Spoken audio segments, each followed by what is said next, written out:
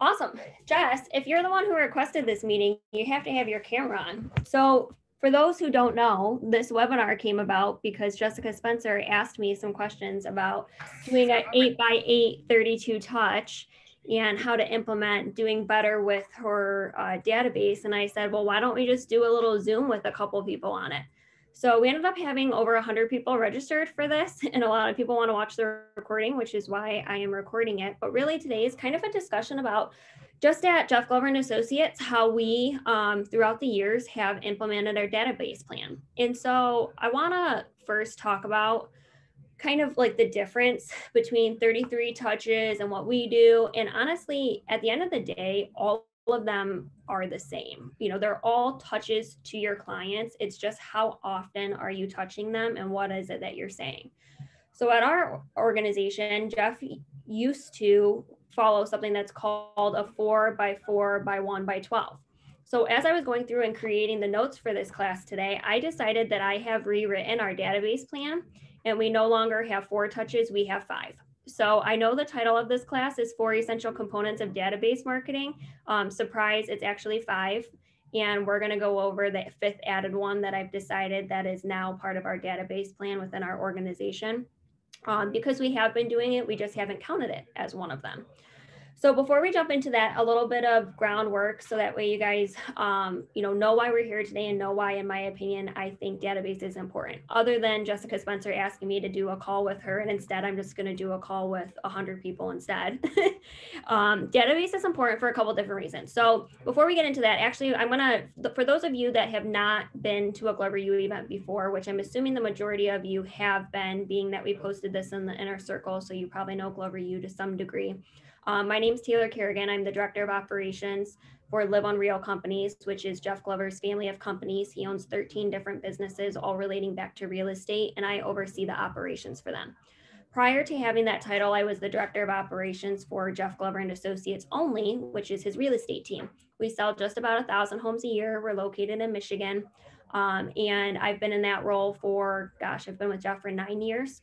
And so um, within the last couple years, I hired my replacement as the director of operations and essentially moved into a little bit of a different position, but I still consult on the business on a daily basis and oversee the, the larger operations. So when we talk about database plans and things we're doing to improve our business or things we're doing to sell more, those conversations are involving me.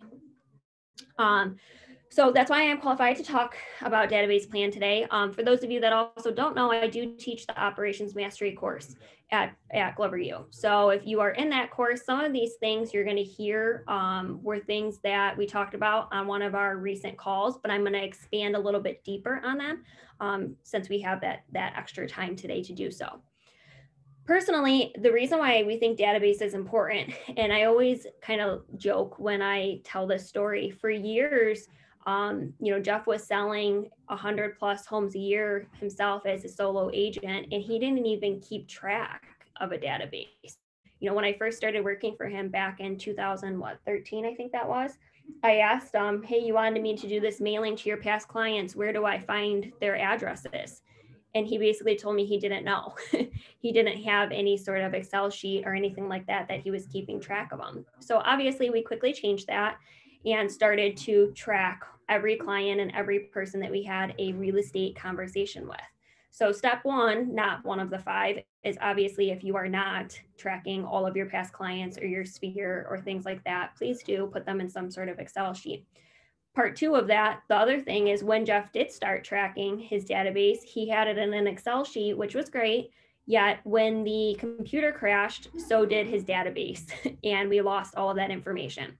So using a system like a Google Sheets or a CRM or something like that is obviously super beneficial for being able to keep everyone in one spot. Um, when we look at our business over the years, so back in, and I'm going to give you a couple stats and I'm going to share with you kind of what changed between 2017 and last year that allowed these percentages to increase. So in 2017, 15% of our business came from the database. 2018, 24% of our business came from the database. 2019, 32, 2020, 45, and last year, 52% of our business, so just under a thousand homes a year, came from our database. So from 15% back in 2017 to 52% in 2021. The only thing that we changed between those years was implementing a database plan. And so we're going to walk you through today what those um, five key components are, and then I'm going to dive deeper into each of them. But the one thing that I want to make sure that everyone gets out of today is when we're in the type of market that we're in right now, where you know buyers and sellers are harder to come by there's more competition the cost of a lead is outrageous your best opportunity to convert a new client today well a client today not new is through your database. They already in most cases know you. They hopefully in most cases like you. It's just the game of staying in front of them on a consistent basis so they don't forget about you. I was in Portland yesterday with Sarita at a um, one of our tour stops that we're doing, and she was talking about how her car salesman, for example, she has no relationship with her car salesman because he doesn't stay in front of her on a consistent basis, right? So there's no relationship tie there. It's very similar when you are a real estate agent. If you're not staying in front of them on a consistent basis, they could drive past an open house and happen to walk through, and now they've bought that house and they never even thought of you because you're not staying top of mind for them.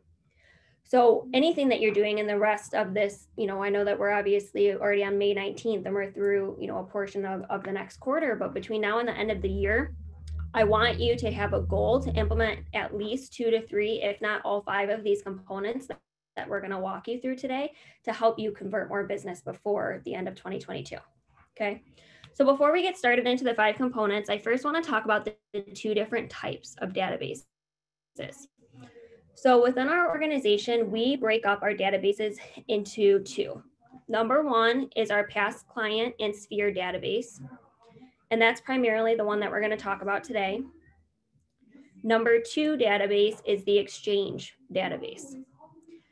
So the difference between the two is obviously the first database is past clients and sphere of influence. So people who have either done business with you or are in your sphere in some circle. That could be a you know hairdresser, that could be a friend, that could be a friend of a friend, whomever. That goes into database number one. Database number two, the exchange database, we classify those people as any decision making adult that we had a conversation with regarding real estate.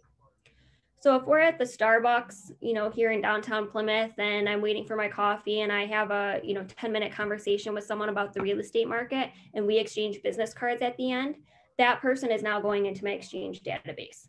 If a Zillow lead comes in and, you know, they inquire on a property at 123 Main Street, that person goes into my exchange database. Okay, so as far as looking at the numbers of our database, we have close to maybe 8,000 people in our past client and sphere database, and we have 80,000 people in our exchange database. Obviously, if you actually keep track of every single you know sign call that you get, Zillow lead that you get, realtor.com, open house lead, whatever it is, that's how that number is going to be a lot higher. And with the database plan that we're going to talk about today, some of the things that we include, we can transfer over to the Exchange database. The reason why you don't host client events and stuff like that for your Exchange database is obviously in relation to the cost, right? And we're not necessarily farther down the funnel with them yet as them um, having a connection with us and so forth. But we obviously want to stay in front of them, right? Because at some point they reached out to us. So that's the difference between the two databases. And I want to make sure that that's clear because sometimes you'll hear us talking about that at Glover U events, talking about the exchange versus past client. Everything we're talking about today with the five database components, that is in relationship to the um, past client and sphere database. Okay. And so for those of you that joined late, um, surprise, I decided that there's actually five database components not four, because as I was going through and writing everything out, I realized that I think with our day and age, it's time that we add the fifth one. And it's actually going to be the one that we start with today, too. Jeanette asked the question, and, and please, guys, you know, obviously I, I didn't create this as a normal Glover U webinar where we blast it out and have like 600 people on it. There's a reason why I did it as a meeting versus a webinar because I want us to have interaction. I want you to have questions. I want you to ask me to dig deeper on some things if you if you want me to. So Jeanette asked the question, do you use other tags within those two databases? So our past client and sphere database, we do track things like sources and so forth in there and sort them by what agent worked with that client. Um, for the exchange database, we do use different tags and they're always um, in relation to how soon we think they're looking to make a real estate move. So we follow the following tags if you want to write these down. Um, we do a zero to seven, a seven to 30, a 30 to 60, a 60 to 90, and then a 90 plus. And so honestly, that is a um, whole other webinar that we can do on how do you follow up with exchange database leads after a long time period, right? And that's like drip campaigns and stuff like that. Um, we can talk about that obviously in one of them. If you guys see enough value, I'm happy to jump on these every so often and do it. But those are the different tags that we use. And then we just categorize them based on how soon we think that they're looking to do something. Okay. Um, and then Stephanie just asked, what's the best way to ask questions? Just throw them in the chat. And then we'll obviously have time for questions at the end. Okay, so let's jump into the five database components. So the first one that I want you to write down, and this is the new one that I've decided that we've introduced, is social. And so by social, I have five different ways that we speak to our database um, and on a social media platform kind of way. And the reason why I've added this, and I think that we haven't had it in the past as much, is because it was never like marketing to your sphere and your past clients on social media was never really a thing that we thought about before, right? We had business pages, we had a personal page where we promoted our past sales and, you know, hey, I've got this under contract or I've got this just listed, whatever it is. But we never actually intentionally tried to connect with our past clients in our sphere via social media. A lot of people, when I tell them, hey, do you add all your past clients on Facebook? They look at me like I have two heads honestly it's the best way to stay in front of them and know what's going on in their business right? You you see on a daily basis what they're eating. Everyone's getting the mexican pizza today right? You can send them a taco bell gift card and let them know that you'll buy the next one. You know there's tons of different ways that you can stay in front of each of these people if you are adding those people on facebook. So before um, we jump into that so the first step under social what i want you to write and I keep seeing every so often it says my internet connection is unstable. So if it gets really bad, let me know and I can try to switch Wi-Fi's. So step one under social, very important client Facebook group. So this is something that we implemented in the 2020 year within our organization. Every past client of ours is encouraged to join the Facebook group. And within there, we do a couple different things. One, we try to host a twice a month giveaway so for example, the giveaway that's happening right now is it's National Pet Month. We have them dropping pictures of their dogs or cats in there. And at the end of the month, we're going to give away a $25 gift card. Okay. So it's a way that we're staying in front of them. You know, we're doing something fun. We're getting engagement in the group. Um, and again, it literally is costing me $25. Okay. Also, things that we post in the Facebook group. I was just having a, a coaching call this morning with someone um, who's working on implementing theirs, you do a market update. So if your MLS releases your market stats once a month, when they get released, download them, read them, go live really quick, and share your thoughts about what's going on in the market right now. Looks like average sales price is up, you know, 12%. Um, our average closings are down 8%, and our days on market within the Detroit area is 21 right? Do a quick three to seven minute video. Now, on a side note with that, once you do that video and post it in your very important client Facebook group, also download it because we're going to use it later when I get to some of the other bullet points. Okay. That's one of the things you can post in there market updates. You obviously don't want to be too salesy. Another way, using it as a referral um, platform. And I'm not talking agent to agent referrals. I'm talking, hey, I need a painter hey i need um, you know someone to finish my basement. You know all of the different things that that um, you know we get asked for on a, a daily basis right? Create it um, ask sarita for example. Again sarita's top of mind for me because i was with her yesterday but, but she's known as ask sarita. Everyone in her database knows that if they need anything the person you reach out to is sarita and she's going to give you the best recommendation a way you create that is by having it in your very important client Facebook group. Okay. So those are the, some of the things that you can promote in that Facebook group. Again, honestly, I think a lot of people get concerned with doing it because they're like, oh my gosh, what am I going to post?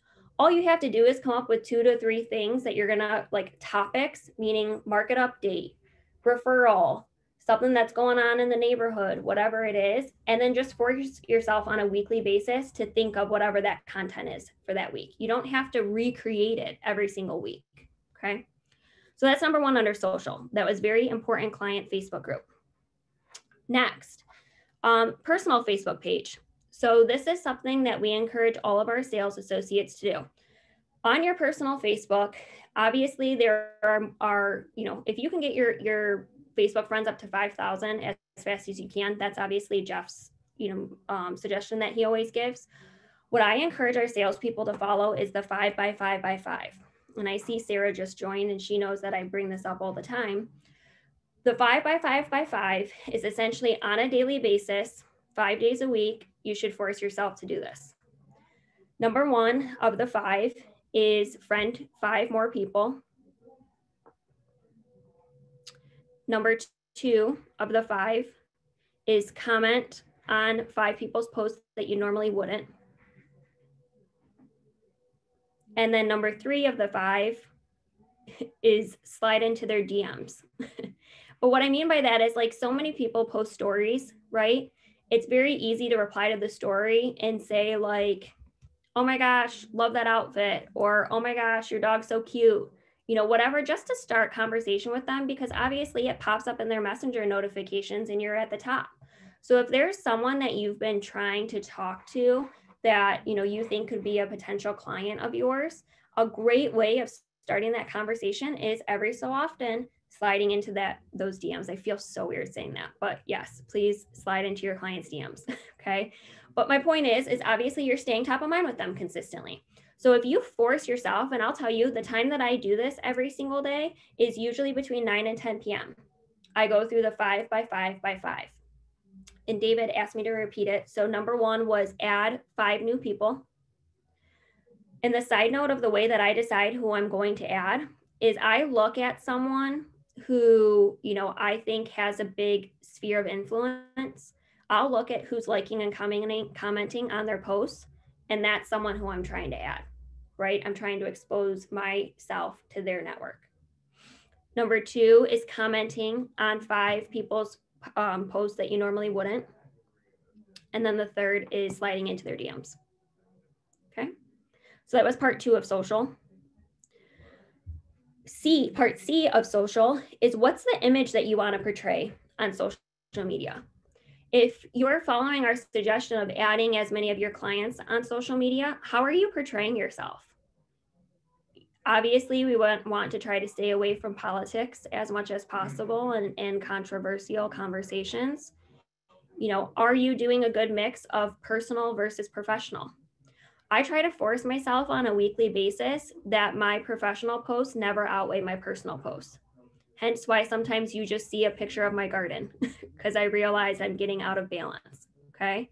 So you need to pay attention that you're not, you know, people will not follow what you're posting as often if you're just constantly posting just sold, just sold, just sold, just sold, right? I should be able to scroll your page and see a good mix of your personal posts and your professional posts.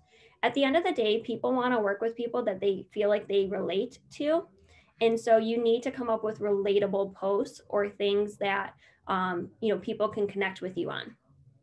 And this is a good um, part for me to mention. Robert just asked the question, how many posts do you aim for in a week? I usually try to do five a week. Obviously, you know, some weeks plus or minus, depending on what's going on. But if you're wondering what the heck do I post about, we actually have a brand new social media calendar at Glover U. If you text the word social, S O C I A L, to 55444, it'll get sent to you. And our marketing director did a really good job of saying, like, okay, on Monday, you know, post a picture of a recent restaurant that you've gone to and you had a great meal, you know, and tag the restaurant. Like that was something that was a personal post. Then maybe the next day is a business post. And that breaks it down for you. You're just going to text the word social to 55444. And I'll drop it in the chat too. And that really breaks it down for you. But my point that I wanted to make sure that you get out of that is what is your image on social media? And is it something to be proud of? Okay. For example, myself personally, I kind of feel like I've been branded as the animal person, right? Everyone knows that I do a lot with the real estate or with the real estate, with the animal rescue. And so they engage with me on those posts. Obviously, I love it because I like to give back to to our community and it also helps me create an image on Facebook where I can connect with people that I normally wouldn't. Okay.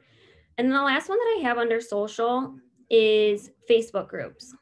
So we already talked about the very important client Facebook group, but force yourself as far as your database component. Um, this one's kind of a little of a caveat, but how many Facebook groups are you in locally? And how often are you posting or commenting in them? So I know that this one's a little bit different because it's not specifically related to past clients and sphere of influence, but I felt it was important to add. And so an example of this could be, you know, we have one here locally. It's um, Northville Happenings. People will comment and say like, hey, I'm looking for a good place to take my wife for our anniversary dinner. How often are you forcing yourself to comment on those and kind of be, be known in that community group? And so my uh, again, it doesn't relate, I guess, necessarily to Sphere or past clients, but if they see you in there and then they also know that you sell real estate, you're just staying top of mind again. Does that make sense? So anything you can do to join those local Facebook groups and then make it a point to comment or engage in them on a weekly basis. Okay. So to recap for social, we have very important client Facebook group, the five by five by five what is your image on social media? And how many local Facebook groups are you a part of? Okay. All right, the next database component that we're gonna cover is the phone. So this one is probably the one that people dislike the most because it actually requires the most work, but it's always going to be your most effective. So under phone, I want you to write the letter A and I want you to write four calls. So people always ask the question of, all right, that's fine. I'll call, you know, four people or I'll make four calls a year, but, you know, what am I saying to them? So our rule of thumb when we're creating our database plan is that we're calling them twice a year surrounding local events that we're doing. And then we're also calling them twice a year surrounding holidays. And I'm going to dive a little deeper into what each of those are. So for events, we host an event in April and we also host an event in August, September. Bef- about 30 days before each of those events, all of our agents are encouraged to call their clients and invite them to the event. If you were on my operations mastery call last or this Tuesday, you heard me say, I don't care if you know that they would never attend the zoo event, we're calling and inviting them anyways. And the reason why we do that is because we want to make sure that we're you're you're calling and you're offering them something, right? You're calling and saying, "Hey, listen, I want to invite you to this event that I'm hosting and it includes free zoo tickets, for example." If you're you're calling them, it's a reason again we're staying top of mind, and that's the whole goal with the database plan. You never know when real estate is going to come up for someone, and we want to make sure that if it is, we're the first person that we think of. Okay, so we're calling them for the, the two events that we host a year. One again is in April and one is in August. Obviously, whenever yours are, call 30 days before it. But make sure, and this is a, a, side note, and we'll talk about it when we get with the events. When you host your client event, you always want to make sure that you're hosting it right before your busy season, right? There's a reason why we're host we're hosting that event in April because we know that that's the start of our selling season. We're also hosting it again in the summer because, again, we have a lot of people who try to do things before school starts. Okay. So you're calling two of them around surrounding events, and then two of them are surrounding holidays. So the next one is the Thanksgiving calls. So if you're on our team, you know that these are referred to as database calls. We create an entire week, the entire week before Thanksgiving, all of our agents are expected to go through their entire database and call every single client and let them know that they're thankful for them.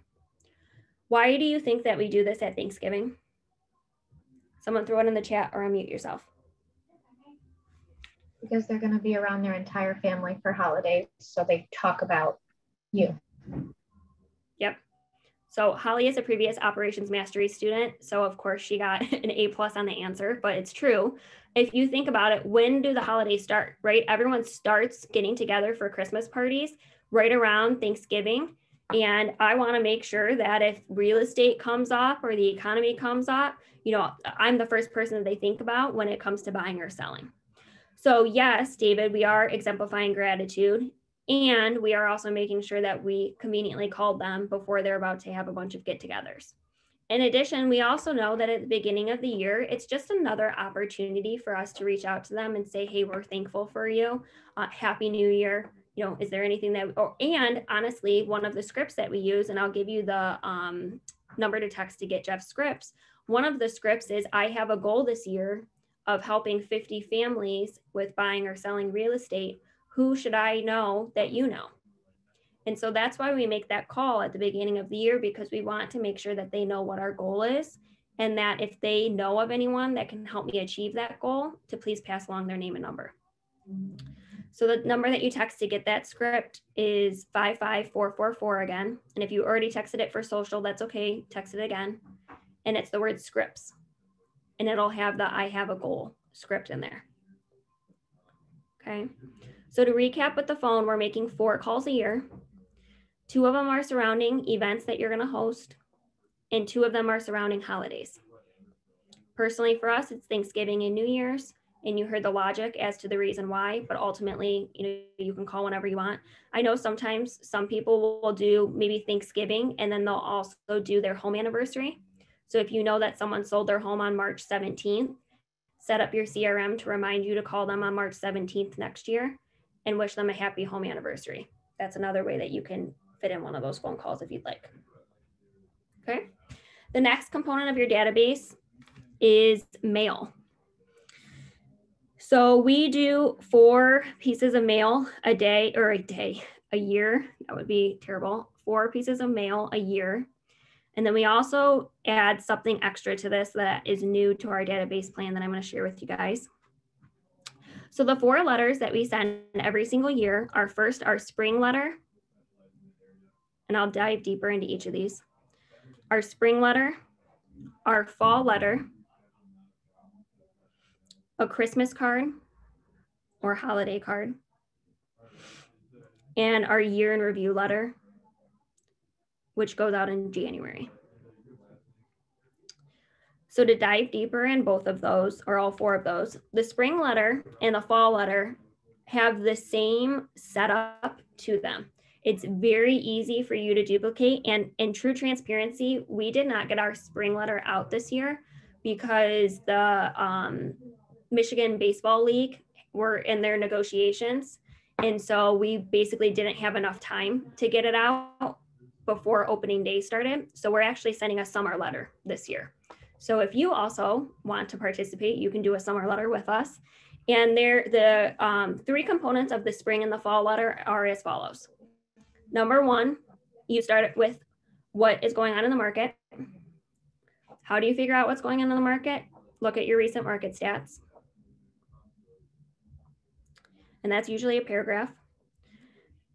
Number two is what you've accomplished. So update them on your progress so far this year. If you called them in January and told them what your goal is, let them know how you're doing so far leading into spring and then again leading into into fall. It also could be, you know, if you're doing a lot of community work, let them know what community work you're doing. If you are um, you know, expanding your business, let them know the expansions that you've made. If you've added something new to your business or new team members, let them know that you've added new team members. So whatever it is that you've done within your business. And then the last part, we always talk about how we gave back. So if you know Jeff Glover and Associates, you know that we have Glover's Heroes, which is a nonprofit that Jeff founded a few years ago and we give back to police officers, veterans, things like that. So that's what we talk about in ours. However, what you can talk about is whatever you're doing in your community. Say you just did a local food drive. Say, you know, for myself, I'm with the animal rescue, I'd be talking about how many animals thus far we saved this year. you can find something that you're doing locally in your community and talk about it for two or three sentences. And by the way, if you're not doing something for your community, you need to start because people want to work with people who do good things. And it's another opportunity for yourself to show that you're giving back as you're having success. Okay. So the three parts of those letters the first starts with a market update. The second is what have you done so far this year? And then the third is how you gave back. Now, if you pay attention, our spring and fall letters also correlate with a client event. So we always make sure to invite them to whatever client event that we're hosting. So the spring one, for example, is inviting them to opening day, which is why we didn't get to do the spring letter because we only had a couple weeks notice on opening day. And then also our fall letter is inviting them to that zoo event. Okay. I always get the question of, so do you just do a letter in an envelope? No, we also include a magnet. Um, the magnet is usually the Detroit Tigers baseball schedule, or it is the Detroit Lions football schedule. So obviously, you know, pick your local teams. We buy them from a website called Markful, M-A-R-K-F-U-L. Markful is the company. And we throw those in there as well obviously the whole point is they have our picture on their fridge and they're seeing us literally every time they open the fridge. Okay. Jeff asked the question um, for phone and mail, are you referring to all of the database, just clients or exchange? So for this, we are referring for the first three, actually the, the four of the database components um, are all to our past clients in Sphere. I'll tell you the one that you give to the exchange as well and it's solely from a cost standpoint. So we'll get to that. Okay. So those are the four letters that we do. We do the spring letter and the fall letter, and then we do a Christmas or holiday card, which obviously that's self-explanatory. We use um, the Gallery Collection is the name of the company that we buy our Christmas cards through. And it's great because they will um, address them all for us. So we don't have to worry about any of that. We also include, again, another magnet. Love magnets here. the 2023 magnet, we throw those in there too. Our rule of thumb is that those need to be in the mail by December 1st, no later. Why do you think that is? Someone's got to If not, if not, somebody else has already sent it and they're gonna have somebody else's picture on the fridge. Happened yeah. to me. yeah. You know, they're not gonna take Miranda off the fridge to put Michelle up sorry, Michelle, you know, it, you have to be the first one that they receive. And if your dentist or your attorney or whatever gets to it before you, unfortunately, your, yours is not going to make it on the fridge. I've never seen anyone have three 2023 magnets on their fridge. Okay. All right, and then the last but not least is the year in review, and that actually follows the same format as the spring and fall letter, the three parts. Again, ultimately, we're just letting them know how we ended up that year. We told you our goal, and now we're telling you how we resulted with that goal. And we're thanking you for supporting us with that. Okay. And David asked, yes, it seems like the Christmas holiday card would only be followed by the other one a few weeks later. That is absolutely true. So the Christmas holiday card goes out December 1st. The year in review letter goes out by mid January. And that's on purpose. Okay, now this is a new part to the mail that I mentioned that has not been included in our database plan before. Some of you have probably heard me talk about it, but it's our very important client boxes. So I'm actually now including this through Glover U as part of our database plan. Essentially what the very important client boxes are is out of your past client and Sphere database, you should identify who your top, you know, 10 or 20% is. And you need to consistently be doing something special to show them appreciation. And so you need to also determine how you want to decide who that top 10 or 20% is. Is it the person who refers you the most? Is it the person who, you know, has done the most business with you? Is it the person who has done the largest sales with you? You personally have to decide who your top 10 or 20% is within your database. What we do within our organization is we have our very important client boxes every single month we send them out on behalf of our agents. Every month has a theme. So for example, April's theme was a Jeff Glover and Associates umbrella with flower seeds, and it said April showers bring May flowers. Okay. Um, May's box was Cinco de Mayo themed. It had, you know, a whole tortilla chip, salsa, a maraca, margarita mix. Um, June's theme is coming out next week for our agents, and it says, um, have a ball this summer. And don't forget to give me a call if I can help with buying or selling a home. So we have a beach ball in there. We've got some sunscreen. We've got some Jeff Glover and Associates sunglasses that we're throwing in there. Um, lemonade mix. All of those things, if you're hearing, are low cost, right? I think probably it's costing us maybe eight dollars, seven dollars for each of these boxes. Then we mail them out to each of our clients. Um, if you can, I would encourage you actually to door knock them and drop them off. Obviously, the face to face interaction is a better return on investment. For our organization, we cover the entire state of Michigan, so it's a little bit hard for our agents to do that, but you will see a better return on investment. So, Don Bass, I see you on our Zoom today. Next time we send out your June boxes, I actually encourage you to drop them off versus mailing them.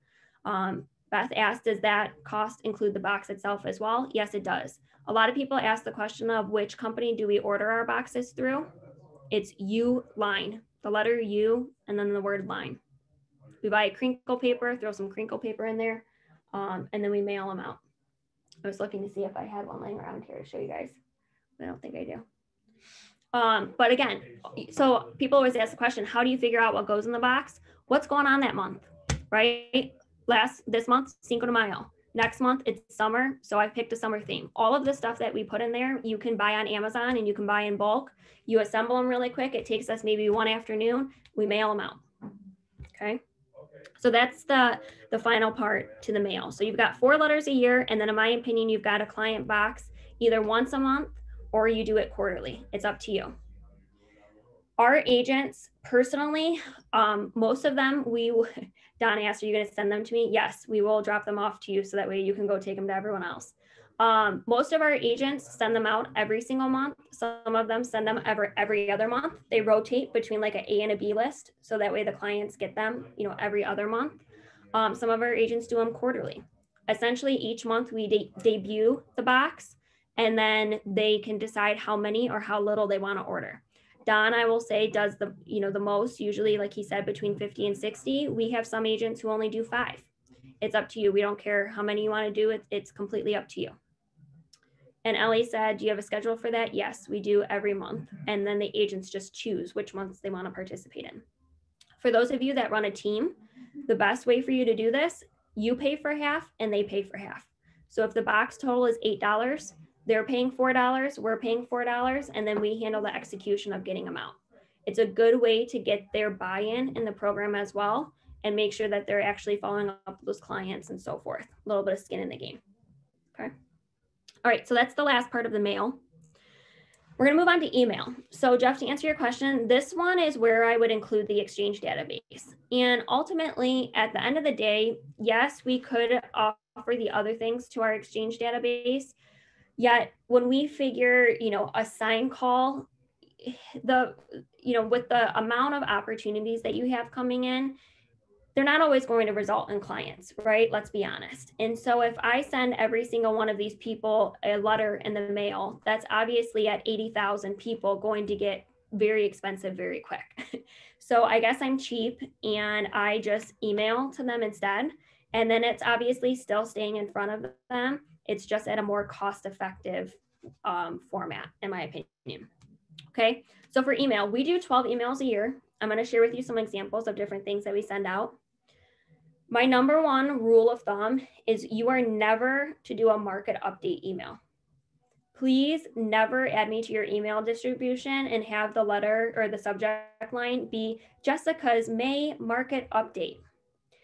You're always going to, and honestly, I, I've had coaching clients where I've asked them, hey, listen, I know you've done it this way for two years. I'm just going to ask you for the next six months to change the titles to some of the suggestions that I gave you and tell me what your open rate has changed to their open rate skyrockets because it's not just another sales email. We're coming from contribution, and the agents who come from contribution and show a value to their clients are the ones that get a return on their business. Okay, so here's some examples. Example number one every state has 4th of July fireworks. Every state usually has a news station or a newspaper that debuts all of the different locations that there's going to be fireworks. Find it, make an email surrounding it, and send it out to your people. You know, if you service primarily one area, say it's, you know, Oakland County's Fourth of July fireworks schedule for the next two weeks. Send that out. I promise you, families in your uh, your um, past client and sphere database are going to appreciate having that in one spot. Another one that we've done in the past is Jeff's top five cider mills. Now, no, we did not send Jeff to every cider mill and have him rank them, although he probably would have enjoyed that. Uh, we just found the top five that another um, news station did, and we compared it with a different news station, and we picked the five that we thought looked the best, and sent that out. And that was Jeff's top five cider mills. Same thing, you can do that too. That's your fall one. Um, in Michigan, we're known for our Michigan colors. Do a, a email blast about the different places to see the Michigan colors say you guys have a great local basketball or baseball team promote you know that it's you know miggy's 3000th whatever hit pitch whatever that was clearly you can tell i don't watch baseball but do things that like people are actually going to open okay uh i don't think he pitches. I think he just hits. So i guess it's 3000 hit. Yeah okay. Randy shaking her head yes. So my point is is come up with things that people would actually open. I've also said, you know, a way to make this really easy is refer to the national holidays. So I constantly look up June national holidays and I scroll the month to try to see, you know, whatever, like an example is National Chocolate Chip Cookie Day. I've asked Jeff's mom before for her chocolate chip recipe, and I literally created an email and sent it out to the database. And the subject line was Jeff's mom's chocolate chip cookie recipe on National Chocolate Chip Cookie Day right? You pair the two together. Okay. So you don't have to. I think what ends up happening with a lot of people is that they like they want to do an email blast every single month and they resort to the market update because that's easy. Now, at the bottom of your emails, you can absolutely give a brief market update, right? It's spring, sales prices are up. You know, we're looking at, you know, homes that have increased in value 50, $60,000 over the last year. If you want to know what your home's value is, give me a call. It could be the last sentence at the end. It is never the focus, though. Okay. Always come from contribution, always come with something fun that they'd want to read. Okay. I also have always followed the rule of thumb, and you probably see it in our GloverU emails sometimes. The less it less is better, less is more, right? You don't want to constantly give it away what they're going to be reading in the email. We want them to open it and do a quick scroll. Robert asked the question, is there a specific date that you send the email out? Obviously, if it's in relation to a day like National Chocolate Chip Cookie Day, it's obviously going to go on that day. Otherwise, I try to do it on like Wednesdays or Tuesdays. I see that when we send emails on the weekend, people are too busy. I also always try to do it either early in the morning, meaning that they watch it for or they read it while they're um, drinking their coffee, or Number two, you know, at the end of the day when they're winding down. I try to not send it in the middle of the day because it ends up getting lost in the shuffle. Okay. Now, someone asked the question of can these email blasts be used for Facebook? Yes. So the point that I made earlier when I said um, do a recording of yourself in the Facebook group of the local market updates and download it, that could be something that you drop at the bottom of the email. So there's a video of you don't feel like you have to rethink a social media post, a mail post, an email post. You can repurpose these things. And the reason why I say that is because not all consumers respond the same way. A consumer may respond better to your social media post than they do the piece of mail that you receive. Another consumer may respond better to the phone call that you left versus the email that you sent. So don't feel like someone's going to say, oh man, I saw they posted that on Facebook. They also left me that in a phone call and I got that in the mail. That has literally never happened and it won't happen. So you don't feel like you have to recreate that every single time. Okay. Um, Jeanette asked the question, MailChimp has a 2000 per month for free. Um, we've used Constant Contact or we, we do pay for MailChimp. It's not that expensive. Constant Contact and MailChimp are the two that we've used. Okay. And then last but not least, the fifth part of the database component is events. So I mentioned earlier, pay attention to when you're hosting your event for your database. Are you pairing it around a time that is either right before your busy season or in your busy season? For example, I will never host an event the week before Christmas. One, no one's going to attend. And two, that doesn't help me, right? It's not like people are getting ready to put their home on the market leading into January. Instead, we host the Tigers opening day event, and that's paired with April. What starts in April, everyone starts thinking about getting their home ready for sale and or getting it ready for sale. So if you're hosting these events, you need to make sure that you're pairing it for when it makes sense um, for your business, depending on where you're located. Okay. Um, also, side note, when we host our events at Jeff Glover and Associates, we host two big events a year that are our Jeff Glover and Associates events. But then we encourage our agents to host their own events. And the reason why we do that is because for those of you that manage teams, um, as your business continues to grow, people won't necessarily have a relationship with Jeff, right? A buyer or a seller doesn't have a relationship with Jeff, they have a relationship with Don. And so we want to invite them to those big events so they can see the power of the organization. But it's also important for Don to have a personal connection with those clients, not Jeff, right? They're not working with Jeff, they're working with Don, who works with Jeff Glover and Associates. So we encourage our agents to host smaller client events through the year. And when I talk, when I say smaller, I mean like 25, 30, 50, 75 people versus a couple hundred for the big events that we host. When we host them, and I'm going to give you some examples of some of the events that we host, we encourage our agents to pick one. We plan it for them. We take care of everything. We just ask them to split the cost with us 50 50. And again, that reasoning is because we want them to have some skin in the game and making sure that they've got attendance and so forth. So examples of smaller client events you can do, a cider mill event. It's super easy. Um, you can do a movie theater event. You can do a happy hour.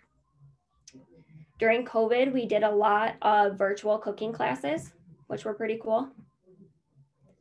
Um, you could do a barbecue. That's one that we've done before. We've done a tailgate before. Um, obviously, you can do pie events and things like that. I'm not the biggest fan of those, but you can do a pie event. Basically, things that are a smaller scale that gives you one on one interaction. And the reason why people always like cringe when I say I don't love pie events, the reason why I don't love them is because they're, there for five minutes picking up the pie and then they get in their car and they leave. Where at a cider mill event, they're sticking around for a little while. They're going on a hay ride, you know, they're doing all of that kind of stuff where I'm able to be around them for a little bit longer. So when you consider expense, I would prefer an event where I can stay with them for 90 minutes versus them grabbing something for three and then heading in their car. Okay. And then last but not least, um, under events, the last thing is, and I know we talk about this all the time at different Glover U events, so most of you probably know this. Anytime you are hosting an event, encourage someone in that database, so in that past client or sphere database, to invite a friend. So if I'm inviting Jessica, I'm encouraging Jessica to also bring Alex to the event or one of her friends because now if I didn't have a relationship with Alex, guess what? Now I do because they came to my event, they had a good time, they got a chance to meet with me, and now I've added them to that sphere and past client database. Okay. They're part of my sphere now. They're part of Randy's sphere. Now they're my sphere. Okay. Now I'm also adding them on Facebook and increasing that that relationship a little bit more. That is the quickest and cheapest way to double your database with a, your highest quality of client because they already can trust you because their friend used you or knows you you mm-hmm. brought them to their your event where you showed them appreciation and they didn't even do any business with you. And then three you stayed connection connected with them. Jessica asked the best way to capture their info is have at all of these events you need to have like an eventbrite or something where they register in advance. And you encourage them you know hey you've got four tickets you know register jessica wing wing and your two friends. Okay? And so when you get that information you then add that to your database I personally do not add them to my Exchange database, and I'm going to tell you why I add them to the past client and sphere instead. Is because they already came to something and they hung out with me for a time period. They are a lot deeper in my sales funnel, in my opinion, than a sign call that called and I've been reaching out to them three or four times and they haven't returned my phone calls. that's someone that I want to make sure receives this five key components on an annual basis because they are most likely to return that business to me. Okay. So now homework for you all. I wouldn't be a coach unless I assigned you homework. The best way for you to implement these five database components is I want you to print out a June, July, August, September, October, November, and December calendar. Lay them out and figure out for the remainder of this year what months are you sending a piece of mail? What months are you doing the phone calls? What are your email blasts each month?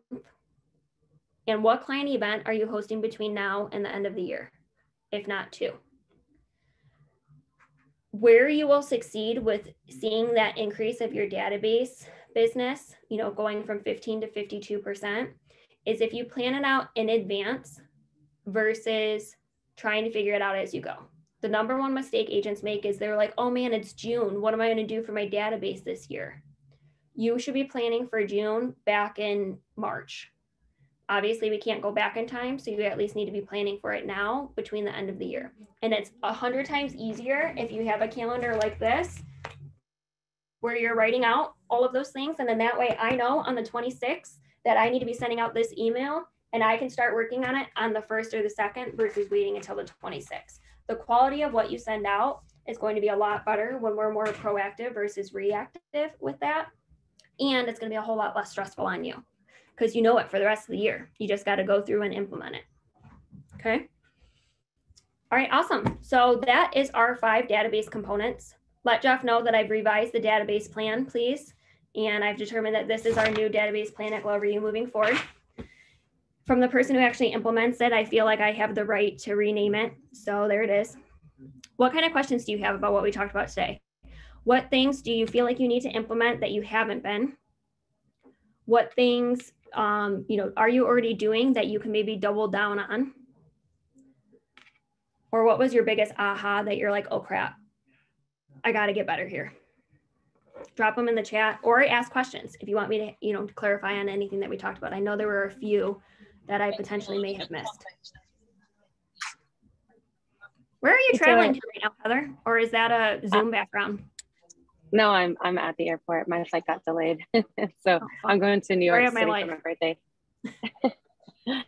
um, I was curious if, along with your spring and fall letters, where you mention your events that you're having, are you also sending out like a separate like invitation to these events via mail, or is it just included in that letter? It's in that letter. So like with our Detroit Tigers opening day event, um, I was hoping I had one sitting here. I don't.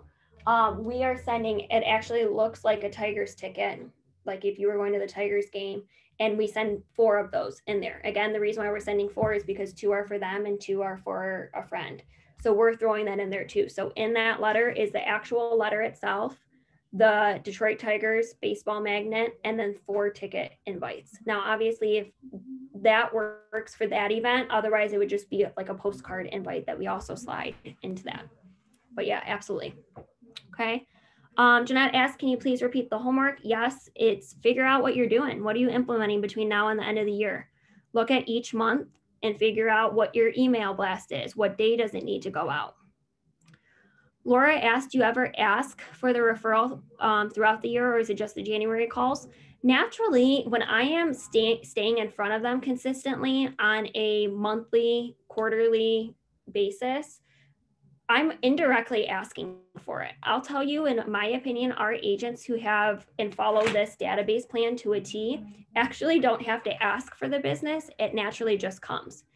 If your realtor was sending you a gift every other month because you're one of their top clients, who are you going to remember when your friend says that they're considering buying or selling? You're not going to consider the realtor down the street. I'm going to consider the realtor who's been sending me something every single month or coming from value. Jeff asked the new social media calendar, is that the one that was shared at the summit? No, we revised it actually. So make sure you get the new one. We added a couple more things to it. Okay, what else? Um, Alicia asked, can you repeat what you put in the summer box? Yes, it has a beach ball. So honestly, guys, if you want to start this next month, here you go. This is what you put in it. Um, I don't have one put together yet. It's, I debut it on Tuesday. It's a beach ball. It's a lemonade packet. It's a small thing of sunscreen. It's um, sunglasses. It's a, um, I actually found them on Amazon. It's a flip flop bottle opener. I think I got like 40 of them for 40 bucks. And then um, I think that's it. And then it's got this little have a ball this summer card that you put in it. You throw some crinkle paper in there, you throw all the stuff in, and then obviously I prefer that you drop it out to them. But if you can't, then mail it. Okay. Boxes, how big are they? That size. It costs maybe anywhere from five to six dollars to mail. Alicia asked, is that for your top 20% clients? Um, so it's up to you. You you know, as an agent, if you want to send it to your entire database, absolutely, it's just going to be really expensive. I encourage our agents to, you know, whoever has maybe recently sent you a referral, send one to them. Um, send it to your best referring clients. You know, send it to someone. If you know that their birthday's in June, send it to them in June. You know, you can use your discretion on who you want to send it to. Katie's right. She said you line. And then Katie also asked, do you track what your best ROI is after the five different types of forms? Um, are you, if you're referring to the database components, I'll tell you our number one re- return on investment is our events because it were physically, oh, Sarah's got a box. See, she's holding, I don't know if you guys can see, she's holding one. It's kind of blurry in the background. That's actually one of the bigger ones. We put a wine bottle in that. That was something different that we were doing, but they're no, you know, they're like this size. Um, the return on investment we get the most from e- events, right? Because they also cost the most in most cases. So, and, and also you're in front of them for 90 minutes. So we hosted our Detroit Tigers opening day event back in April. And I know from that event, we had at least 10 to 15 sales as a result of that. But we also had 800 people in attendance. So, you know, figure out that whatever that ratio is. But you'll always have your highest return on investment from a client event because you just saw them face to face. You'll never beat a face to face. Beth asked, how far in advance do you need to order the boxes? Are they the same box every month? Um, no, you just order them off a of Uline and they take two days to arrive. It's pretty easy. It's a great company. Okay. Maybe I need to open up a very important client um, box company where you guys can just order your boxes and we just sit here and, and box them every day. I'll tell Jeff that I have an idea for a new company. Okay. All right. Well, thanks, guys. If you have any other questions, feel free to reach out, drop them in the inner circle. And if you, just like Jessica, you know, said, hey, listen, I need you to dive deeper in the database components. I want to implement this stuff in my business. If you also ever have something like that, shoot me the idea. And if I have enough people who ask questions on it and I've got, you know, enough content that I can feel, fill it with, I will always, you know, hop on these for you anytime you need them. Thanks for being a part of the Glover U family. Talk to you guys later.